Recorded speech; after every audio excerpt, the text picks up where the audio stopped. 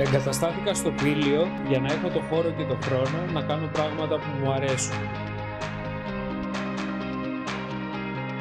Ζω τις εναλλαγές, τη θάλασσα, τη φύση, τα μονοπάτια.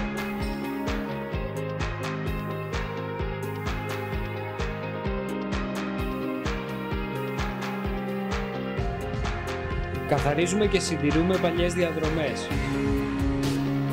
Τις κάνουμε ξανά προσβάσιμες και ο καθένας τις απολαμβάνει όπως θέλει.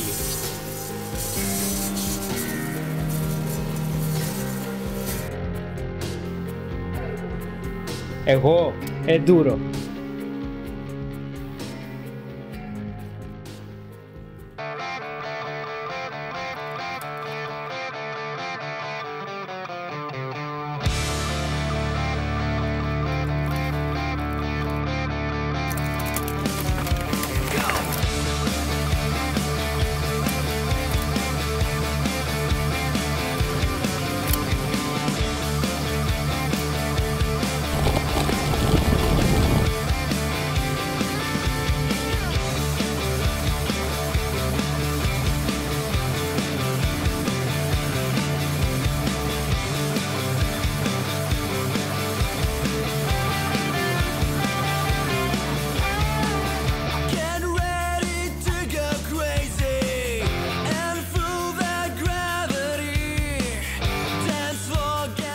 Το εντούρο είναι το πρώτο πράγμα που έκανα με ποδήλατο.